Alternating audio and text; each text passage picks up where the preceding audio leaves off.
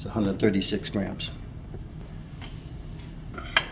And finally, we have very fine sand. 136 grams. Well, we still need to weigh the bottom. This would be silt and clay if there's any uh, uh, present. 114 grams. So now we have the weight of the sieves and the weight of the sand, and we can start sieving. Now, we're asking that you sieve for 15 minutes to make sure that all the sand grains have a chance to move down to the next layer, because they're, at first, they're just sitting on top of one another. So they have the opportunity to work, and it take about 15 minutes, and we do this manually. So we'll put the sieves back together in the right order. Starting with the smallest on the Right, bottom. Right. From and the silt and clay. That's very fine sand. Here we are with fine sand. Medium sand. These sieves are in nice shape. Medium coarse sand. Very coarse sand. And finally, gravel. Now that's all recorded in our uh, data sheet. So now we have to sieve. Okay, I hope you have a good lab partner. Okay, so we'll take all the sand and, and uh, put it in here. And if we do this right, we won't lose a single grain of sand if we do this procedure right. And so um, here we go. We start seeing sieving like this. I've seen people sieve like this. Uh, but you want to keep it vertical and shake it.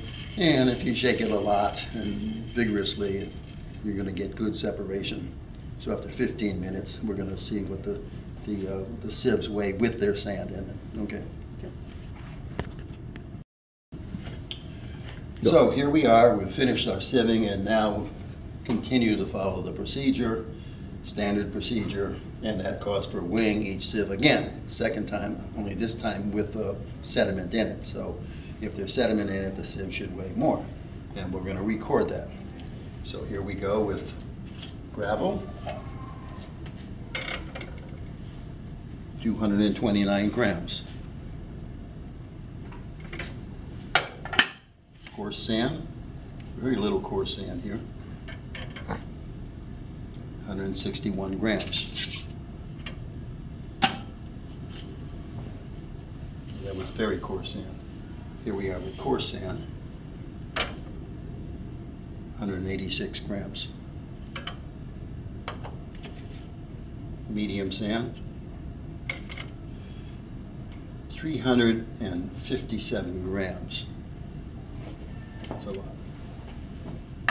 And I see there's less here. Fine sand, let's see what this is.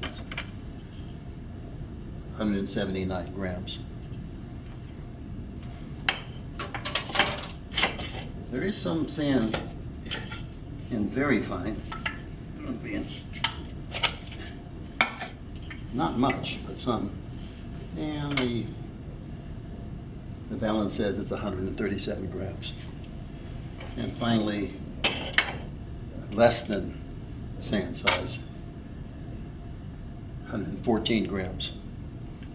So now we know not only the total weight of the sand, but how much each sand weighs in each one of these categories, and now we can do, go and record this data.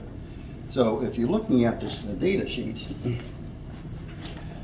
it's asking you to the mass of the sediment alone.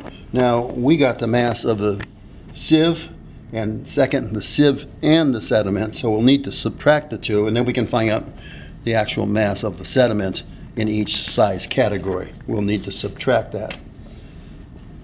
And from there, we'll get the percentage.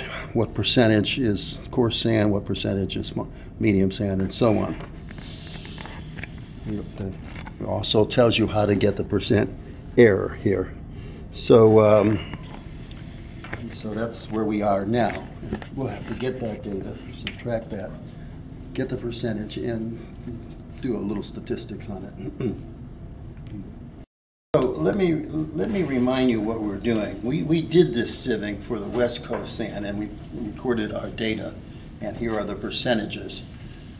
Then we made a histogram of the West Coast sand over here.